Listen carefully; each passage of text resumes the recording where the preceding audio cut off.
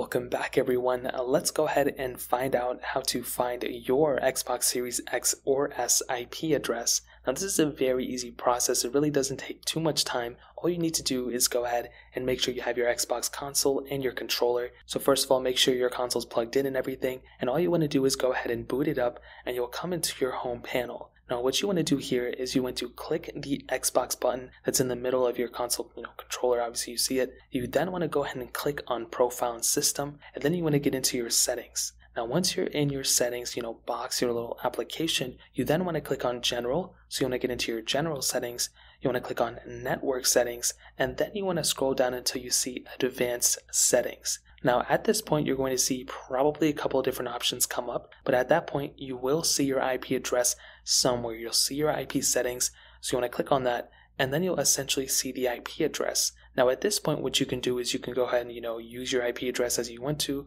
You can see your subnet mask, your gateway, your DNS numbers, and all that stuff. And that's essentially it. That's how you do it. So whatever you need to do, this is essentially how you find your IP address. If you guys have any other questions or anything, let me know in the comment section below. Hit the like button, that would mean so much. But definitely hit that subscribe button. More importantly, everything else, I love every single one of you guys. Hopefully, I'll catch you guys in the next video. Peace out till then.